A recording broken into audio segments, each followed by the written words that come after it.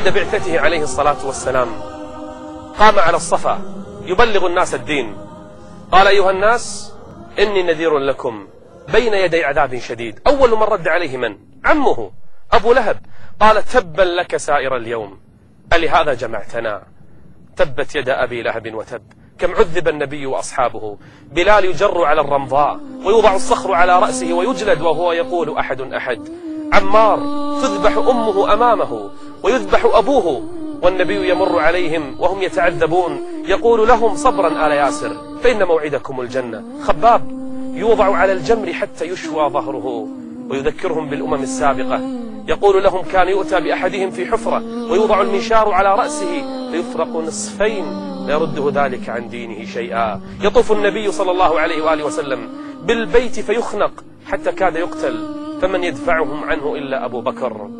يوم من الأيام كان يسجد عند الكعبة فوضعوا على ظهره ورأسه سل الجزور قذارة ناقة بعد أن ولدت حملوها ورموها على ظهره صلى الله عليه وآله وسلم.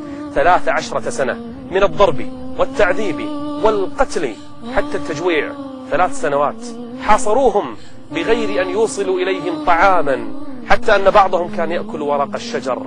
صبر النبي عليه الصلاة والسلام. ذهب إلى الطائف يبلغهم الدين فتبعوه بالحجارة. جاءه الملك يقول دعني أطبق عليهم الأخشبين. يقول لا لا أرجو أن يخرج الله من أصلابهم. من يعبد الله لا يشرك به شيئا.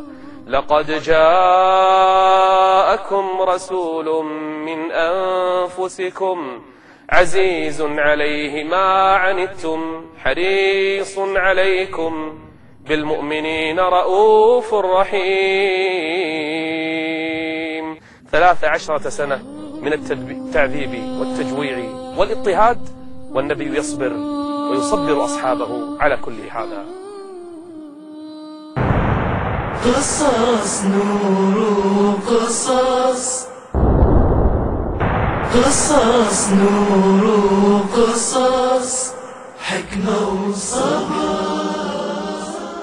لما اشتد البلاء بالنبي صلى الله عليه وآله وسلم وأصحابه في مكة أذن الله لهم بالهجرة إلى المدينة. جاء النبي إلى أبي بكر يخبره بالهجرة فقال يا رسول الله الصحبة؟ قال الصحبة يا أبا بكر. فبكى أبو بكر من شدة الفرح. في ليلة الهجرة نام الإمام علي رضي الله عنه في فراش النبي صلى الله عليه وآله وسلم يفدي الإمام عليا النبي صلى الله عليه وسلم بنفسه. نام الإمام علي في فراش النبي. خرج النبي مع أبي بكر إلى غار ثور. قبل أن يدخل الغار دخل أبو بكر فوجد فيه جحرين. غطى أحدهما بثوبه والآخر برجله ونام النبي على رجل أبي بكر. لسعت دابة رجل أبي بكر الصديق رضي الله عنه فلم يتحرك. دمعت عيناه فسقط شيء من الدمع على خد النبي صلى الله عليه وسلم فاستيقظ. قال ما لك يا أبا بكر؟ قال لا شيء. لسعني شيء برجلي. قال أرني رجلك يا أبا بكر. فدعا لها ونفث عليها فبرئت. ظل النبي مع أبي بكر في ذلك الغار ليلة كاملة. وفي الصباح كان المشركون يبحثون عن النبي صلى الله عليه وآله وسلم فوصلوا إلى باب الغار. فوقفوا عند باب الغار. فبكى أبو بكر. قال ما الذي يبكيك يا أبا بكر؟ قال لو نظر أحدهم تحت قدمه لرآنا يا رسول الله. قال ما ظنك باثنين؟ الله ثالثهما. إلا تنصروه فقد نصره الله. إذ أخرجه الذين كفروا ثاني اثنين. إذ هما في الغار. تخيلوا ليلة يبيتها النبي صلى الله عليه وآله وسلم مع أبي بكر ثم بعدها ليلة وليلة وليلة ليالي طويلة يبيتونها أين؟ في ذلك الغار. إذ هما في الغار إذ يقول لصاحبه لا تحزن لا تحزن إن الله معنا. إنها ليالي حاسمة. في ذلك الغار بين مرحلة ومرحلة أخرى. ظل النبي مع أبي بكر أياما وليالي في ذلك الغار وأسرة أبي بكر كلها تخدم أبا بكر وتخدم الهجرة وتخدم رسول الله قبل هذا حتى أذن الله له أن يذهب إلى المدينة. فسار من الغار إلى المدينة كرمها الله وشرفها الله.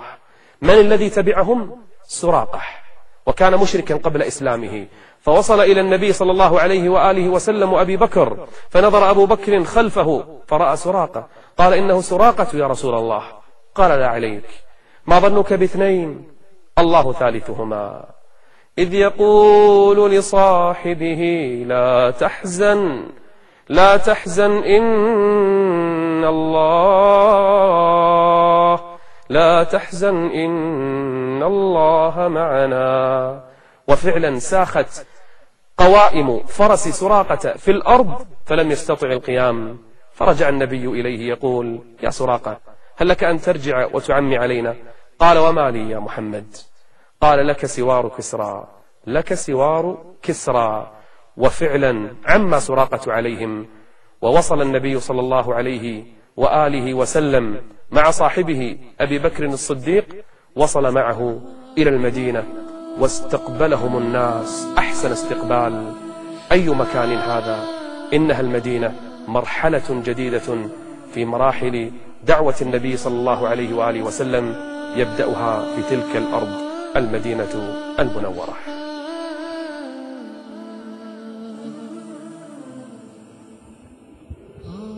عاش النبي صلى الله عليه وآله وسلم بعد الهجرة في المدينة وكان فيها يهود. سالمهم وعاهدهم لكنهم غدروا وأرادوا قتله. قتل من قتل وأجلى من أجلى منهم. أسس الدولة الإسلامية وأقام الجهاد في سبيل الله.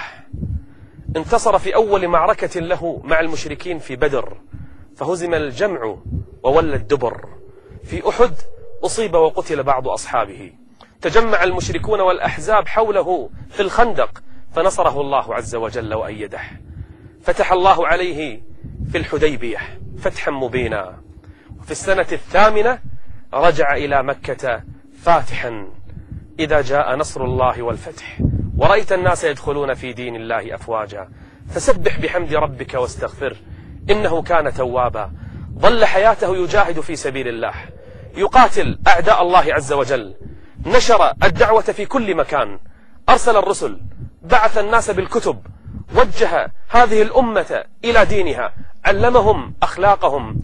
كان يقاتل في حنين وهو أكثر من ستين سنة عمره يقاتل بكل شجاعة وقوة وبطولة. وهو يقول أنا النبي لا كذب أنا ابن عبد المطلب. قاتل في سبيل الله. لم يخش أحدا في الله. كان يعلم أصحابه على القتال وعلى الجهاد.